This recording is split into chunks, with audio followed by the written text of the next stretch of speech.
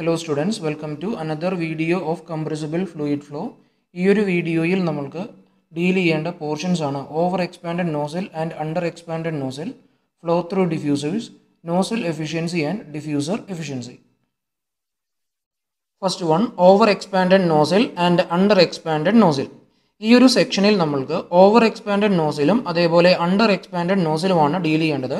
അതിനുവേണ്ടി ഈ ഒരു ഫിഗർ നല്ല രീതിയിൽ മനസ്സിലാക്കുക. ഈ ഒരു ഫിഗർ നമ്മൾ ഇതിനു മുന്നേയുള്ള പാർട്ട് എയ്റ്റ് വീഡിയോയിൽ flow through convergent divergent nozzle എന്ന സെക്ഷനിൽ എക്സ്പ്ലെയിൻ ചെയ്തതാണ്. അതേപോലെ ഈ ഒരു കൺവെർജൻ ഡൈവർജൻ നോസിലിന്റെ പ്രഷർ ഡിസ്റ്റൻസ് ഡയഗ്രവും പാർട്ട് എയ്റ്റ് വീഡിയോയിൽ നമ്മൾ എക്സ്പ്ലെയിൻ ചെയ്തതാണ്. സോ ഈ രണ്ട് ഡയഗ്രവും ഇവിടെ എക്സ്പ്ലെയിൻ ചെയ്യുന്നില്ല. പകരം ഇവിടെയുള്ള ഡിഫറെന്റ് പ്രഷർ വാല്യൂസ് ഞാനൊന്ന് നിങ്ങളെ ഓർമ്മിപ്പിക്കാം. അതായത് ഈ ഒരു കൺവെർജൻ ഡൈവർജൻ നോസിലിന്റെ ലെഫ്റ്റ് എൻഡിലായിട്ട് ഈ കാണുന്നതാണ് റിസർവോയർ സെക്ഷൻ നമുക്കറിയാം റിസർവോയറിനുള്ളിൽ സ്റ്റാഗ്നേഷൻ സ്റ്റേറ്റ് ആയിരിക്കും. അതുകൊണ്ട് റിസർവോയറിനുള്ളിലെ പ്രഷർ എന്ന് പറഞ്ഞാൽ സ്റ്റാഗ്നേഷൻ പ്രഷർ ആയിരിക്കും. അതിനെ നമ്മളിവിടെ പി സീറോ എന്ന് റെപ്രസെന്റ് ചെയ്യുന്നു. ഇനി ഈ ഒരു നോസിലിന്റെ എക്സിറ്റ് സൈഡിലുള്ള അല്ലെങ്കിൽ എക്സിറ്റ് പ്ലെയിനിലുള്ള പ്രഷറാണ് പി ഇ അല്ലെങ്കിൽ nozzle exhaust pressure P E ഇനി ഈ കാണിച്ചിരിക്കുന്ന എക്സോസ്റ്റ് ചേംബറിനുള്ളിലെ പ്രഷറിനെ ബാക്ക് പ്രഷർ എന്നാണ് പറയുക. അതിനെ നമ്മൾ പി ബി എന്ന് റെപ്രസെന്റ് ചെയ്യുന്നു. ഇനി ഇവിടെ നമുക്ക് പഠിക്കേണ്ടത് ഓവർ എക്സ്പാൻഡഡ് നോസിലും അതേപോലെ അണ്ടർ എക്സ്പാൻഡഡ് നോസിലുമാണ് ഈ പറഞ്ഞ നോസിൽ എക്സോസ്റ്റ് പ്രഷർ പി ഇയും എക്സോസ്റ്റ് ചേംബറിനുള്ളിലെ ബാക്ക് പ്രഷർ പി ബിയും തമ്മിലുള്ള റിലേഷൻഷിപ്പ് അനുസരിച്ചാണ് ഈ ഒരു നോസിലിനെ ഓവർ എക്സ്പാൻഡഡ് നോസിലായിട്ടും അതേപോലെ അണ്ടർ എക്സ്പാൻഡഡ് നോസിലായിട്ട് നമ്മൾ ക്ലാസിഫൈ ചെയ്യാം. അതായത് നോസിൽ എക്സോസ്റ്റ് പ്രഷർ പിയുടെ വാല്യൂ എക്സോസ്റ്റ് ചേംബറിനുള്ളിലെ പ്രഷർ പി ബിയേക്കാൾ ചെറുതാണെങ്കിൽ ഈ ഒരു കൺവെർജിങ് ഡൈവെർജിങ് നോസിലെ നമ്മൾ ഓവർ എക്സ്പാൻഡഡ് നോസിൽ നിന്നും അതേസമയം ഈ ഒരു കൺവെർജൻ ഡൈവെർജിങ് നോസിലിന്റെ എക്സോസ്റ്റ് പ്രഷർ എക്സോസ്റ്റ് ചേംബറിനുള്ളിലെ ബാക്ക് പ്രഷറിനേക്കാൾ വലുതാണെങ്കിൽ ഈ ഒരു കൺവെർജൻ ഡൈവർജൻ നോസിലിനെ അണ്ടർ എക്സ്പാൻഡഡ് നോസിൽ എന്നുമാണ് പറയാം. ഞാനൊന്നുകൂടി പറയാം പി ഇയുടെ വാല്യൂ പി ബിയേക്കാൾ ചെറുതാണെങ്കിൽ ഓവർ എക്സ്പാൻഡഡ് നോസിലും അതേസമയം പി ഇയുടെ വാല്യൂ പി ബിയേക്കാൾ വലുതാണെങ്കിൽ അത് അണ്ടർ എക്സ്പാൻഡഡ് നോസിലും ആയിരിക്കും ഈ ഒരു ഡയഗ്രത്തിൽ ഈ കാണിച്ചിരിക്കുന്ന എച്ച് എന്നുള്ള കർവ് അണ്ടർ എക്സ്പാൻഡഡ് നോസിലിന്റെ കേസും അതേസമയം ഡിസൈൻ പ്രഷറായിട്ടുള്ള ജിക്ക് മേലെയുള്ള അതായത് A B C D E F വരെയുള്ള കർവുകളെല്ലാം തന്നെ ഓവർ എക്സ്പാൻഡഡ് നോസിൽസിന്റെ കേസായിട്ട് ബന്ധപ്പെട്ടതാണ്. ഇനി ഈ ഒരു ഫിഗർ നല്ല രീതിയിൽ മനസ്സിലാക്കണം. ഇതിൽ ഈ കാണിച്ചിരിക്കുന്നത് ഓവർ എക്സ്പാൻഡഡ് നോസിലിന്റെ കേസും ഈ കാണിച്ചിരിക്കുന്നത് അണ്ടർ എക്സ്പാൻഡഡ് നോസിലിന്റെ കേസുമാണ് നമുക്ക് ആദ്യം ഓവർ എക്സ്പാൻഡഡ് നോസിലിന്റെ കേസ് ഡീൽ ചെയ്യാം. ഇവിടെ ഈ ഒരു ബ്ലാക്ക് കളറിൽ കാണിച്ചിരിക്കുന്നതാണ് നോസിൽ ഈ കാണിച്ചിരിക്കുന്നത് ഒരു കൺവെർജൻ ഡൈവർജൻ നോസിലാണ് ഈ ഒരു കൺവെർജൻ ഡൈവർജൻ നോസിലിലൂടെ എക്സ്പാൻഡ് ചെയ്യപ്പെടുന്ന ഗ്യാസ് ആണ് ഈ രീതിയിൽ കാണിച്ചിരിക്കുന്നത്. നമുക്കറിയാം ഒരു കൺ ഓവർ എക്സ്പാൻഡഡ് നോസിലിന്റെ കേസിൽ ഈ ഒരു നോസിലിൽ നിന്നും എക്സിറ്റ് ചെയ്യുന്ന ഗ്യാസിന്റെ പ്രഷർ പി എന്നുള്ളത് അതിനു ചുറ്റുമുള്ള ഗ്യാസിന്റെ പ്രഷറായിട്ടുള്ള പി ബിയേക്കാൾ കുറവായിരിക്കും. സോ ഈ ഒരു നോസിലിൽ നിന്നും എക്സിറ്റ് ചെയ്യുന്ന ഗ്യാസിനെ അതിനു ചുറ്റുമുള്ള ഗ്യാസസ് സ്ക്യൂസ് ചെയ്യുകയും ഈ ഒരു നോസിലിൽ നിന്നും എക്സിറ്റ് ചെയ്യുന്ന ഗ്യാസിന്റെ ബൗണ്ടറി ഈ രീതിയിൽ നാരോ ആയി മാറുകയും ചെയ്യും. അതായത് ഈ ഒരു നോസിലിൽ നിന്നും എക്സിറ്റ് ചെയ്യുന്ന ഗ്യാസിന്റെ പ്രഷർ കുറവായതുകൊണ്ട് ഇതിനു ചുറ്റുമുള്ള ഗ്യാസസ് ഇതിലേക്ക് പ്രഷർ അപ്ലൈ ചെയ്യുകയും അതിന്റെ ഫലമായിട്ട് ഈ ഒരു നോസിലിൽ നിന്നും എക്സിറ്റ് ചെയ്യുന്ന പ്ലൂമിന്റെ ബൗണ്ടറി നാരോ ആയി മാറുകയും ചെയ്യും. സോ ഈ രീതിയിൽ പ്ലൂമിന്റെ ബൗണ്ടറി കുറയുന്നത് കൊണ്ട് ഈ ഫിഗർ നോക്കുകയാണെങ്കിൽ ഈ ഒരു പോർഷനിലും ഈ ഒരു പോർഷനിലും നോസിലിന്റെ വോളായിട്ട് ഈ ഒരു ഗ്യാസ് കോണ്ടാക്റ്റ് വരുന്നില്ല. സോ ഇത്തരം പോർഷൻസിൽ ത്രസ്റ്റ് ജനറേറ്റ് ചെയ്യില്ല. സോ ഈ രീതിയിൽ ത്രസ്റ്റിന്റെ വാല്യൂ കുറയും. ത്രസ്റ്റിന്റെ വാല്യൂ കുറയുന്നത് കൊണ്ട് ഈ ഒരു നോസിലിന്റെ എഫിഷ്യൻസി കുറഞ്ഞു പോകും. ഇനി നമ്മൾക്ക് ഡീൽ ചെയ്യേണ്ടത് അണ്ടർ എക്സ്പാൻഡഡ് നോസിലാണ് അണ്ടർ എക്സ്പാൻഡഡ് നോസിന്റെ കേസിൽ ഈ ഒരു നോസിലിൽ നിന്നും എക്സിറ്റ് ചെയ്യുന്ന ഗ്യാസിന്റെ പ്രഷർ പി ഇ എന്നുള്ളത് അതിന് ചുറ്റുമുള്ള ഗ്യാസിന്റെ പ്രഷറിനേക്കാൾ കൂടുതലായിരിക്കും. സോ ഈ ഒരു കേസിൽ അതായത് അണ്ടർ എക്സ്പാൻഡിന്റെ കേസിൽ ഈ നോസിൽ കഴിഞ്ഞതിന് ശേഷം ഇതിൽ നിന്നും എക്സിറ്റ് ചെയ്യുന്ന ഗ്യാസ് വീണ്ടും എക്സ്പാൻഡ് ചെയ്യും. കാരണം ഈ ഒരു നോസിലിൽ നിന്നും എക്സിറ്റ് ചെയ്യുന്ന ഗ്യാസിന്റെ പ്രഷർ കൂടുതലാണ്. സോ അത് ചുറ്റുമുള്ള ഗ്യാസിലേക്ക് പ്രഷർ അപ്ലൈ ചെയ്യുകയും ഈ രീതിയിൽ എക്സ്പാൻഡ് ചെയ്യുകയും ചെയ്യും. ഇവിടെയും നോസിൽ എഫിഷ്യൻസി കുറയുകയാണ് ചെയ്യുക. കാരണം നോസിലിൽ നിന്നും എക്സിറ്റ് ചെയ്തതിന് ശേഷവും നോസിലിൽ നിന്നും എക്സിറ്റ് ചെയ്യുന്ന ഗ്യാസ് വീണ്ടും എക്സ്പാൻഡ് ചെയ്യപ്പെടും. പക്ഷേ ഈ ഒരു നോസിലിന് ശേഷമുള്ള എക്സ്പാൻഷൻ വഴി ക്രിയേറ്റ് ചെയ്യപ്പെടുന്ന ത്രസ്റ്റ് നമുക്ക് യൂസ്ഫുൾ ആയിട്ട് മാറില്ല. കാരണം ഈ ഒരു എക്സ്പാൻഷൻ നടക്കുന്ന ഭാഗത്ത് ഈ ഒരു നോസിലിന് വോളില്ല സോ അതായത് നോസിലിന്റെ പോർഷൻ ഇല്ല. സോ ഈ ഒരു ത്രസ്റ്റ് അതായത് കൂടുതലായിട്ട് ജനറേറ്റ് ചെയ്യാൻ പേടേണ്ട ത്രസ്റ്റ് നമുക്ക് യൂസ്ഫുൾ ആയിട്ട് മാറില്ല. സോ ഈ ഒരു കേസിൽ നമുക്ക് എഫിഷ്യൻസി വർദ്ധിപ്പിക്കുന്നതിന് വേണ്ടി ചെയ്യാൻ പറ്റുന്നത് ഈ ഒരു നോസിലിന്റെ വോൾ കൂടുതലായിട്ട് ലെങ്തിയറാക്കുക അല്ലെങ്കിൽ ലോങ്ങറാക്കി മാറ്റുക എന്നുള്ളതാണ്. ഇപ്പോൾ പറഞ്ഞ കാര്യങ്ങളാണ് ഇവിടെ ലിസ്റ്റ് ഔട്ട് ചെയ്തിരിക്കുന്നത്. First one over expanded nozzle if the pressure at the exit P is below the back pressure P B then the nozzle is set to be over expanded nozzle നമ്മൾ നേരത്തെ പറഞ്ഞതാണ് നോസിലിൽ നിന്നും exit ചെയ്യുന്ന pressure P എന്നുള്ളത് അതിന് ചുറ്റുമുള്ള back പ്രഷറിനേക്കാൾ കുറവാണെങ്കിൽ അത്തരം നോസിലിനെയാണ് ഓവർ എക്സ്പാൻഡഡ് നോസിൽ എന്ന് പറയാം. Next one when an over expanded flow passes through a nozzle the higher atmospheric pressure causes it to squeeze back inward and separate from the walls of the nozzle അതായത് over expanded നോസിലിൽ നോസിലിൽ നിന്നും exit ചെയ്യുന്ന ഗ്യാസിന്റെ pressure അതിനു ചുറ്റുമുള്ള ഗ്യാസിന്റെ back പ്രഷറിനേക്കാളും കുറവായതുകൊണ്ട് ആ ഒരു എക്സിറ്റ് ചെയ്യുന്ന ഗ്യാസിന്റെ റീജിയൻ നാരോ ആവുകയും ആ ഒരു റീജിയൻ നോസിലിന്റെ വോളിൽ നിന്നും സെപ്പറേറ്റ് ചെയ്യപ്പെടുകയും ചെയ്യും. This pinching of the flow reduces efficiency ഈ ഒരു കാരണത്താൽ നോസിൽ എഫിഷ്യൻസി കുറയും. Because that extra nozzle wall is wasted and does nothing to generate any additional thrust അതായത് വോളും ഗ്യാസും തമ്മിൽ സെപ്പറേഷൻ വരുന്നത് കൊണ്ട് അഡീഷണൽ ആയിട്ടുള്ള നോസിലിന്റെ വോൾ വോളിൽ നമുക്ക് ത്രസ്റ്റ് കിട്ടത്തില്ല. ഈ കാരണത്താൽ നോസിൽ എഫിഷ്യൻസി കുറയും. Ideally the nozzle should have been shorter to eliminate this unnecessary wall so ഈ ഒരു കേസിൽ അതായത് ഓവർ എക്സ്പാൻഡഡ് നോസിലിൽ കൂടുതലായിട്ടുള്ള നോസിൽ വോൾ നമ്മൾക്ക് എലിമിനേറ്റ് ചെയ്യാനായിട്ട് സാധിക്കും. Next one under expanded nozzle if the pressure at the exit P is above the back pressure P B then the nozzle is set to be under expanded nozzle അതായത് നോസിലിൽ നിന്നും exit ചെയ്യുന്ന pressure P E എന്നുള്ളത് അതിന് ചുറ്റുമുള്ള back pressure P ബിയേക്കാൾ വലുതാണെങ്കിൽ അത്തരം നോസിലിനെയാണ് under expanded nozzle എന്ന് പറയാം. In this case the flow continues to expand outward after it has exited the nozzle ഈ ഒരു കേസിൽ നോസിലിൽ നിന്നും എക്സിറ്റ് ചെയ്തതിന് ശേഷവും ഗ്യാസ് എക്സ്പാൻഡ് ചെയ്യപ്പെടും. This behaviour also reduces efficiency because that external expansion does not exert any force on the nozzle wall so ഇതും ഈ ഒരു കാരണത്താലും എഫിഷ്യൻസി കുറയും. കാരണം കാരണം നോസിലിന് ശേഷം എക്സ്പാൻഷൻ നടക്കുമെങ്കിലും അവിടെ ഉണ്ടാകുന്ന ത്രസ്റ്റ് നമുക്ക് യൂസ്ഫുൾ ആയിട്ട് മാറത്തില്ല. This energy This energy not be converted in to thrust and is is ideally the nozzle should have been longer to capture this expansion and convert it in to thrust അതായത് നോസിലിന് ശേഷവും expansion നടക്കാതിരിക്കുന്നതിന് വേണ്ടി നോസിലിനെ ലോങ്ങറാക്കി മാറ്റി നമുക്ക് ഈ ഒരു കേസിൽ അതായത് അണ്ടർ എക്സ്പാൻഡഡ് നോസിന്റെ കേസിൽ എഫിഷ്യൻസി നമുക്ക് ഇൻക്രീസ് ചെയ്യാനായിട്ട് സാധിക്കും. Next one flow through diffusers ഈ ഒരു സെക്ഷനിൽ നമ്മൾക്ക് ഡിഫ്യൂസറിലൂടെയുള്ള ഫ്ലോയാണ് ഡീൽ ചെയ്യേണ്ടത്.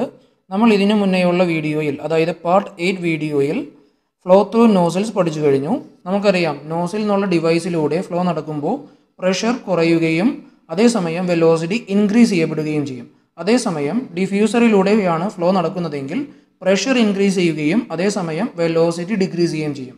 അതാണ് ഇവിടെ കാണിച്ചിരിക്കുന്നത്. ഈ കാണിച്ചിരിക്കുന്ന ഒരു ഡിഫ്യൂസറാണ് ഇനി അതിന് താഴെയായിട്ട് പ്രഷർ ഡിസ്റ്റൻസ് ഡയഗ്രം കാണിച്ചിട്ടുണ്ട്. ഇതിനു മുന്നേ നോസിലിന്റെ ഡയഗ്രാം വരച്ചപ്പോൾ പ്രഷർ കുറയുന്ന രീതിയിലാണ് കാണിച്ചിരുന്നതെങ്കിൽ ഇവിടെ നമ്മൾ പ്രഷർ കൂടി വരുന്ന രീതിയിൽ കാണിക്കുക. സോ ഫസ്റ്റ് ഡയഗ്രത്തിൽ നിങ്ങൾക്ക് കാണാം പ്രഷർ ഗ്രാജുവലി ഇൻക്രീസ് ചെയ്യുന്നതായിട്ട് കാണാം. ഇനി മറ്റൊരു ഡയഗ്രവും ഇത് കാണിച്ചിട്ടുണ്ട്. നമുക്ക് ഇത് ഓരോന്നായിട്ട് ഡീൽ ചെയ്യാം.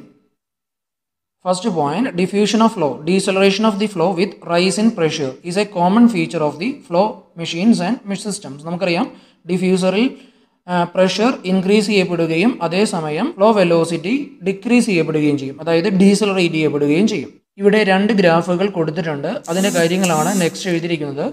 Figure shows both reversible and irreversible diffusion of supersonic flow അതായത് ഈ ഒരു ഡിഫ്യൂഷൻ അല്ലെങ്കിൽ പ്രഷർ ഇൻക്രിമെന്റ് എന്നുള്ള പ്രോസസ്സ് രണ്ട് രീതിയിൽ നടക്കാം. ഒന്ന് റിവേഴ്സിബിൾ ആയിട്ട് നടക്കാം. മറ്റൊന്ന് ഇറിവേഴ്സിബിൾ ആയിട്ട് നടക്കാം.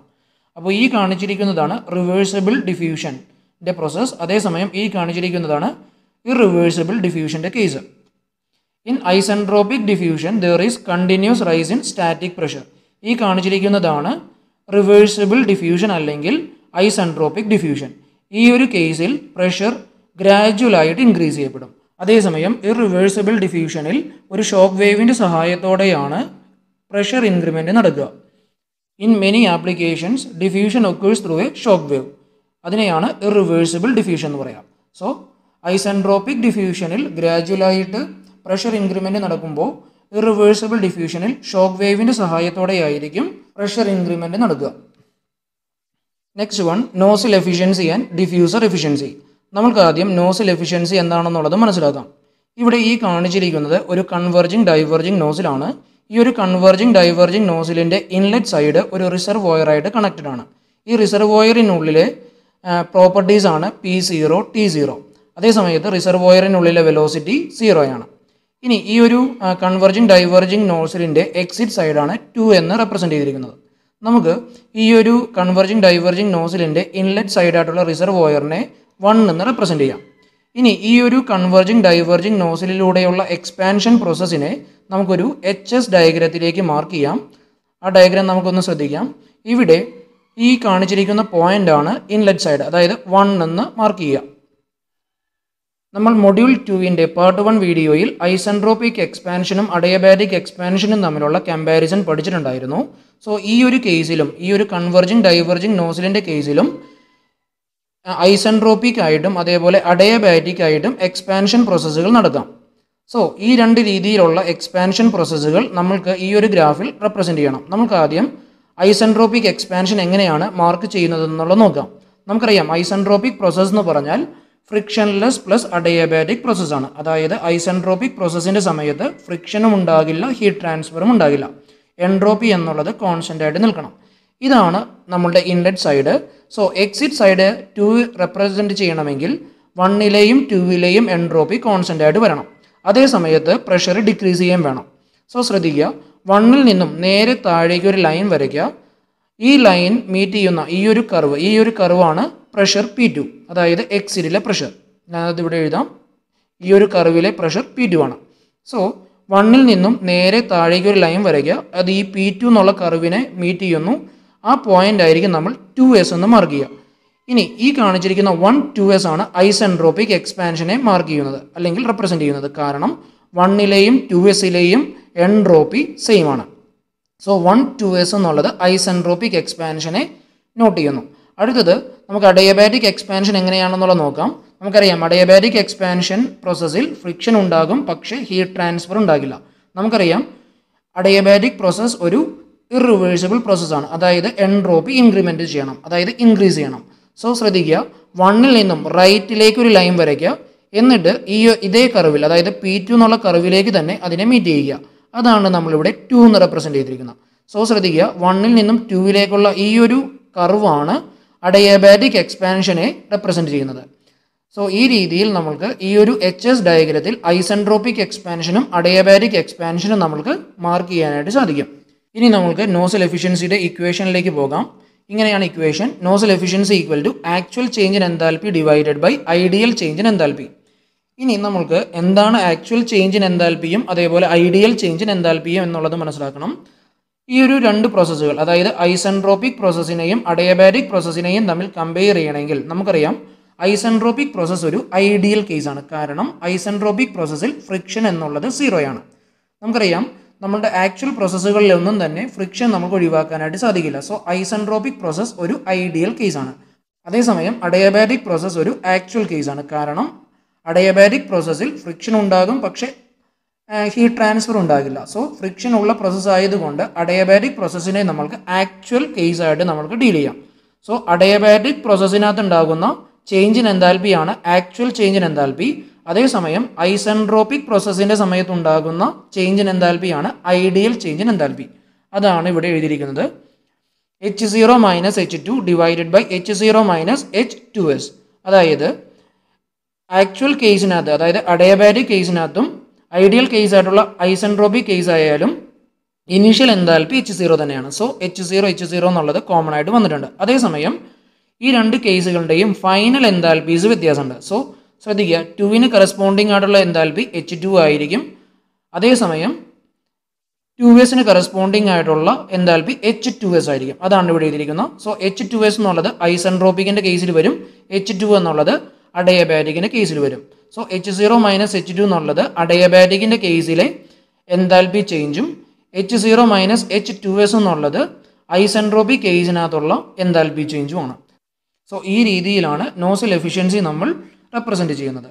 H zero minus H two divided by H zero minus H two S ഇനി നമ്മൾക്ക് ഡീൽ ചെയ്യേണ്ടത് ഡിഫ്യൂസർ എഫിഷ്യൻസി എന്നുള്ള പോർഷനാണ് നോസിലിൽ എക്സ്പാൻഷൻ ആണ് ഒക്കർ ചെയ്യുന്നതെങ്കിൽ ഡിഫ്യൂസറിൽ കംപ്രഷൻ പ്രോസസ് ആയിരിക്കും ഒക്കുറി ചെയ്യുന്നത്. ഇതും നമ്മൾ പാർട്ട് വൺ വീഡിയോയിൽ ഡീൽ ചെയ്തതാണ്. ശ്രദ്ധിക്കുക. സോ ഇൻലെറ്റ് സൈഡാണ് വണ്ണെന്ന് റെപ്രസെന്റ് ചെയ്തിരിക്കുന്നത്. ടു എസും ടു ആണ് ഔട്ട്ലെറ്റ് സൈഡ് ശ്രദ്ധിക്കുക. കംപ്രഷനും രണ്ട് രീതിയിൽ നടക്കാം. ഒന്ന് ഐസൻട്രോപ്പിക് കംപ്രഷൻ മറ്റൊന്ന് adiabatic compression so one two S എന്നുള്ളത് ഐസൻട്രോപ്പിക് കംപ്രഷനെയും വൺ ടു എന്നുള്ളത് അഡയബാറ്റിക് കംപ്രഷനെയും റെപ്രസെന്റ് ചെയ്യുന്നു. ഇനി അങ്ങനെയാണെങ്കിൽ diffuser എഫിഷ്യൻസിക്കുള്ള equation ideal change in enthalpy divided by actual change in എൻതാൽപ്പിയാണ് ശ്രദ്ധിക്കുക ഇതിനു മുന്നേ നോസൽ എഫിഷ്യൻസിയുടെ കേസിൽ actual change in enthalpy divided by ideal change in enthalpy ആണെങ്കിൽ diffuser efficiency ideal change in enthalpy divided by actual change in enthalpy ആണ്. So equation ഇങ്ങനെയായിരിക്കും. H two S minus H one divided by H two minus H one ഇവിടെ H one എന്നുള്ളത് ഇൻലെറ്റിലെ എൻതാൽപ്പിയും H two എന്നുള്ളത് adiabatic കംപ്രഷനിലെ final എൻതാൽപ്പിയും H two S എന്നുള്ളത് ഐസൻട്രോപ്പിക് കംപ്രഷനിലെ ഫൈനൽ എൻതാൽപ്പിയുമാണ്.